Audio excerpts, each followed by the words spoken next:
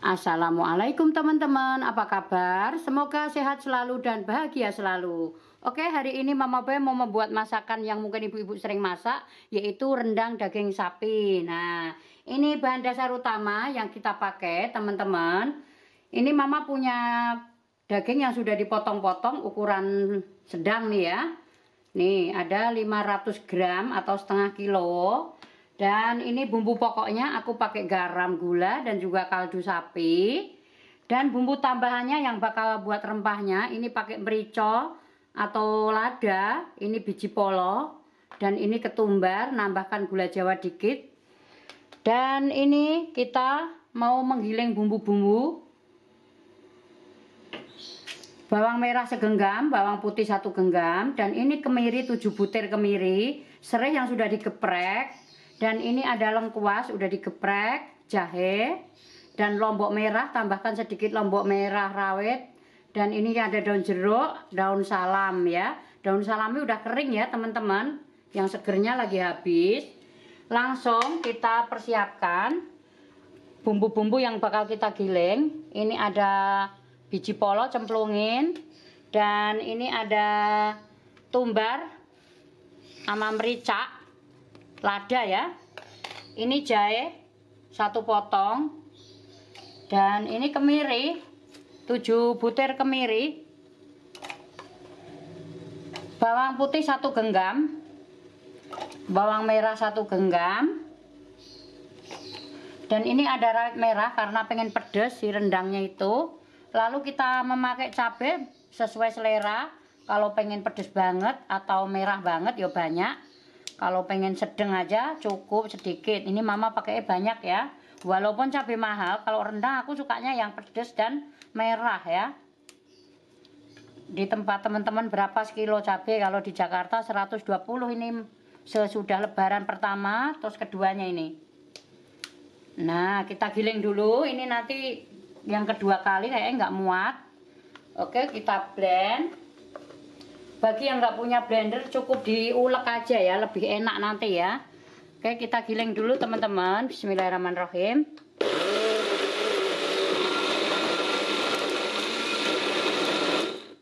Nah, bumbu sudah halus yang terdiri dari kemiri, bawang merah, bawang putih dan juga biji polo, tumbar, lada. Ya, cabai merah tambah cabai rawit dikit. Kita tumis kalau nggak ditumis juga nggak apa-apa sih teman-teman sebenarnya. Langsung bumbu cemplung gitu. Tapi aku pengennya agak ditumis-tumis dikit gitu. Biar bau harum. Ini dikocakin bumbu-bumbunya.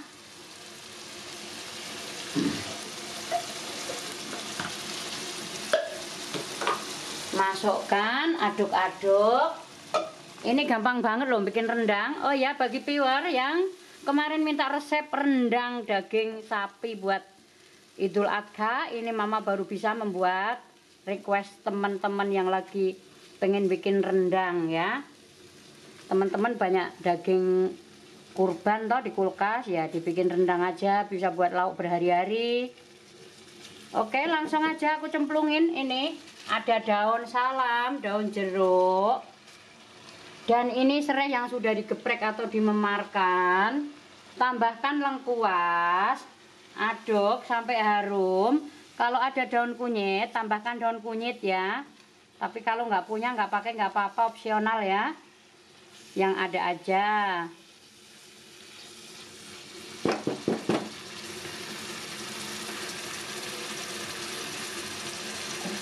Oke, bagi yang suka bumbu rempah-rempah supaya bau jinten, bau kapulogo, dan bau apa yang rempah-rempah di sini aku tambahkan sedikit bumbu saset.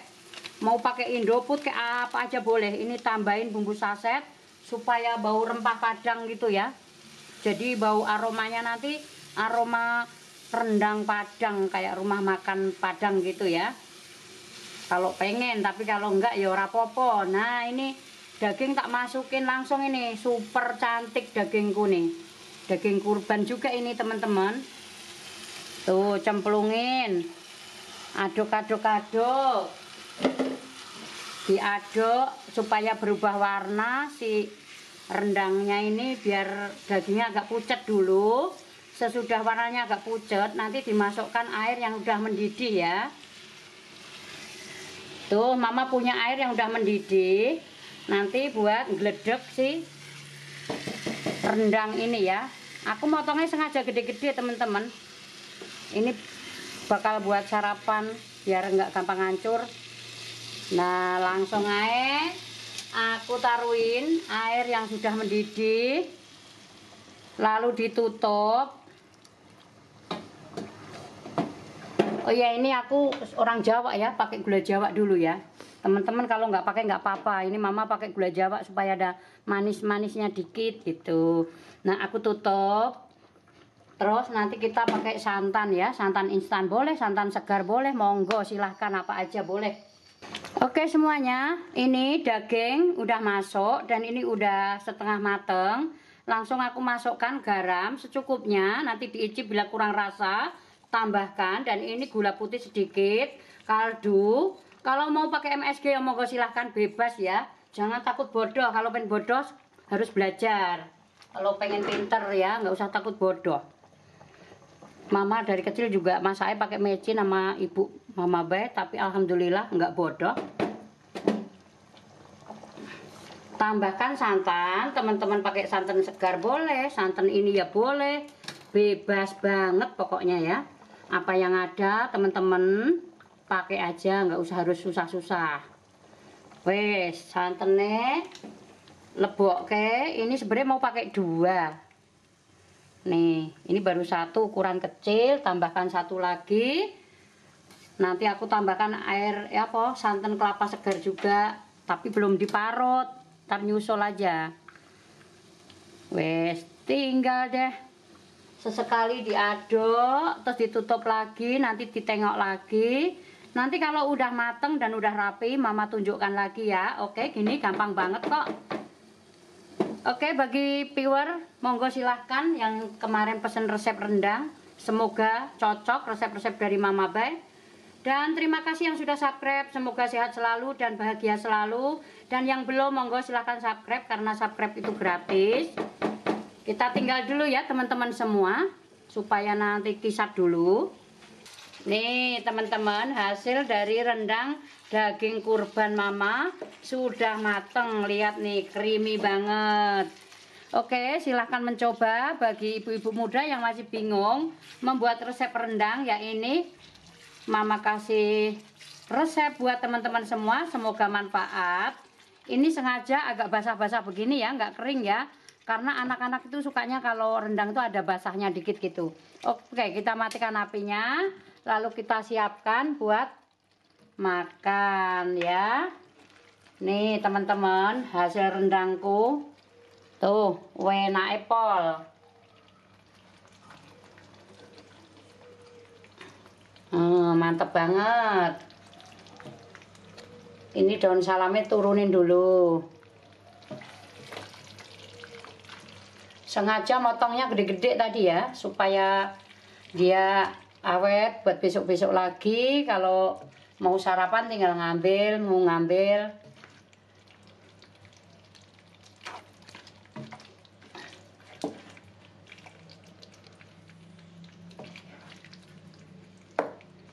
Ini serehnya kita turunin dulu dan tinggal tabur bawang goreng. Ini udah nyampleng banget.